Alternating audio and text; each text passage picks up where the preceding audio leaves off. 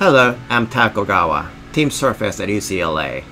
I'm going to discuss about VUV technology that is brand new and give us a lot of benefit and opportunity for us. I'm going to signal the dawn of the new norm in implant dentistry. After one hour of my lecture, you will leave the room different. I promise that. Now let's get together with digital and VUV. I'm looking forward to seeing great people in a great city of Busan. See you soon.